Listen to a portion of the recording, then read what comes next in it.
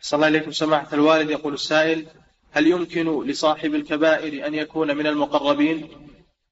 إذا تاب إلى الله إذا تاب إلى الله. أما إذا كان باقي على الكبائر التي دون الشرك هذا ظالم لنفسه وهو تحت المشيئة. إن شاء الله غفر له وإن شاء عذبه نعم.